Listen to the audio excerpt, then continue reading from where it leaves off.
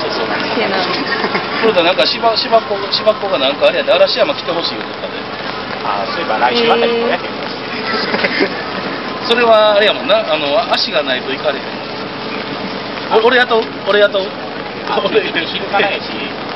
黒崎村まで送迎付き。その代わりガソリン代払ってもら あの車みたいやな。